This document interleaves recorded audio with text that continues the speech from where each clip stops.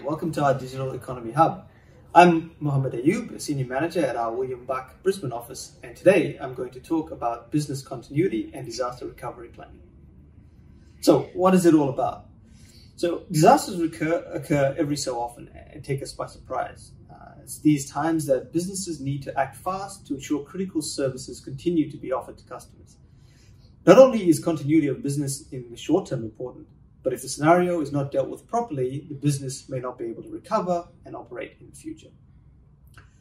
Business continuity and disaster recovery planning allows a business to be prepared for interruptions to businesses. Uh, the BCP sets out a plan of action uh, in the event of disaster or interruption uh, and how the organization will continue to work through the challenge and recover from it. So, why is it important? It's important to note that this affects all types of businesses, whether startups or large multinationals.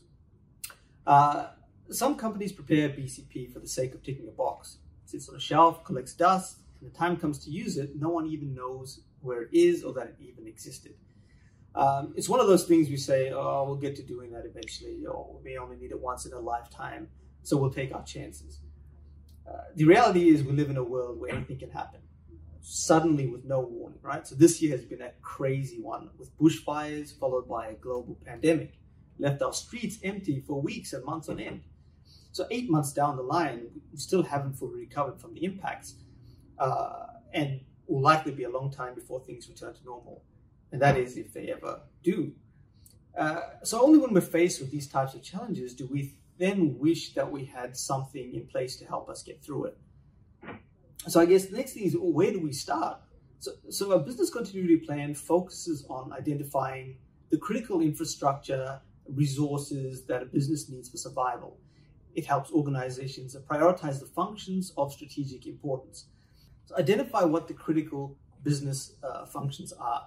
For example, HR needs to process payroll, sales will say that the CRM is the most important to generate business, it's things that run in the background as well, like the continuous backup that the IT department does. Um, then we analyze how the business is exposed to threats and identify the controls that are in place to mitigate these. For instance, what if we do what do we do if an earthquake hits us? Do we have access to a separate site? These are often referred to as cold, warm, or hot sites, depending on how long it takes to get them up and running. Uh, you know, maybe we'd operate from there in the interim. So using these what if scenarios helps us to think about what exactly we need to respond to the challenge. We then go on and develop a business continuity policy, which is at a high level, I guess, the approach uh, to develop uh, and maintain an effective framework for business continuity disaster recovery.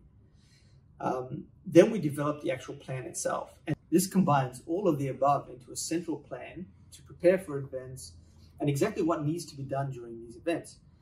Um, it also provides information and steps uh, on how the business goes about recovering from the disaster. Uh, it's very important to make your staff aware of the BCP and to annually test it as well. So I often get asked, what's the critical in ensuring a BCP is a success? Uh, and I think it's good to remember that a business is not static. It's constantly evolving. You know, businesses continue to grow or they might pivot to gain, uh, to maintain their competitive advantage. Um, so the pre preparation of a BCP doesn't stop on the completion of a document. Um, it's a living thing that needs to be updated regularly and tested to make sure it works and is still relevant. Uh, so a key point there is the awareness. Uh, everybody has a role to play in getting the business back up to its feet, so they need to be aware it exists. It needs to be tested regularly as well, but how?